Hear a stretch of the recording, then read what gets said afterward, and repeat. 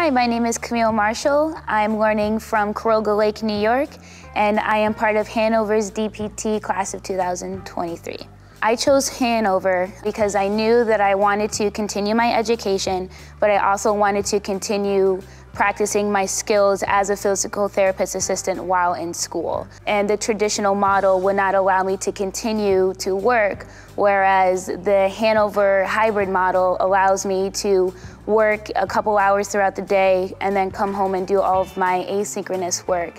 And it allows me to learn um, at my own time and at my own pace being able to tie in what I previously learned in PTA school, what my current experience is, and what we're learning in class right now, I think that has helped me overall so far.